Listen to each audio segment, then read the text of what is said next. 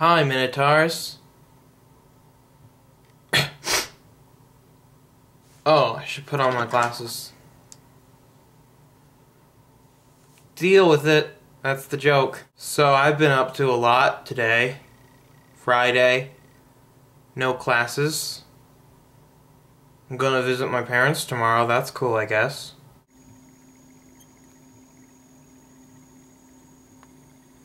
I'm reading some books. One's for class about chicken. They don't treat chickens very well. Or the workers. And it's not very good for you because it's processed and stuff. Oh, and extremely loud and incredibly close. Or incredibly loud and extremely close, but I'm not sure which it is because I don't spend the whole time looking at the cover, right? I just read it. That that's cool. What an exciting life I lead. Uppercut!